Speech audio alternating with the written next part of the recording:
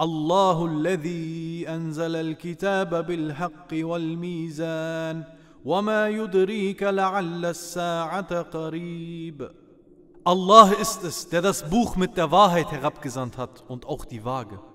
Woher willst du es wissen? Vielleicht steht die Stunde nahe bevor. Deine Augen erstarren und dein Verstand setzt aus. Der Moment der Entscheidung. Nichts war so unerträglich wie dieser Augenblick. Und nichts hatte gewaltigere Folgen.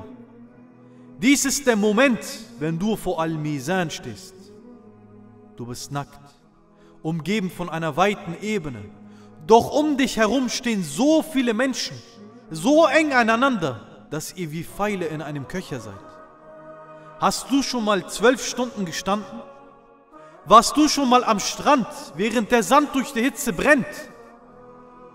Am Tage der Demütigung, am Tage der Erhebung wirst du 50.000 Jahre stehen und die Sonne wird der Erde nahegebracht. Ein unerträglicher Zustand. Dann, wenn du keine Kraft mehr hast und alle Grenzen überschritten wurden, ist es soweit. Die Waage wird aufgestellt und das Gericht beginnt. Die Anspannung in diesem Moment ist mit nichts zu vergleichen.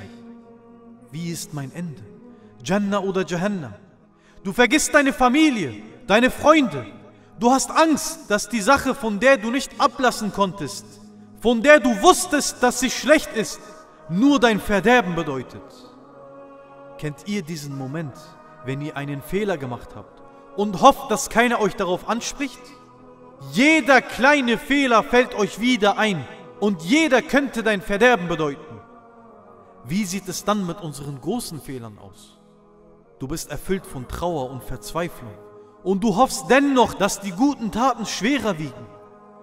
Dich interessiert nur eins, ob sich die Seite der guten Taten oder die der schlechten Taten senkt.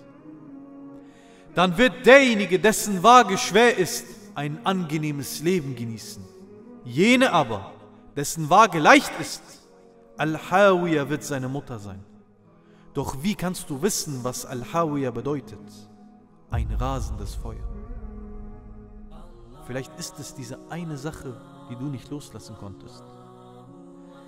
Diese eine Sache, von der du dachtest, Allah vergibt sie mir schon und deswegen trotzdem gemacht hast, die bei Allah subhanahu wa ta'ala aber so schwer ist, dass du zu den Verlierern gehörst. Dieser eine Junge, dem du geschrieben hast, dieses eine Mädchen, dem du geschrieben hast, dass du dein Gebet vernachlässigt hast, weil du ja ein gutes Herz hast. Allah verlangt von dir mehr als nur schöne Worte. Genauso ist es vielleicht eine Sache, die so klein und unbedeutend für dich war, aber die mit absoluter Aufrichtigkeit gemacht wurde. Und deswegen bei Allah so schwer ist wie ein Berg, weshalb du zu den Gewinnern gehörst. Ein Gebet in der Nacht mit voller Demut, eine Träne der Reue in Einsamkeit, eine Sorge, die du deinen Geschwistern abnimmst oder die Fürsorge, die du deinen Eltern entgegengebracht hast.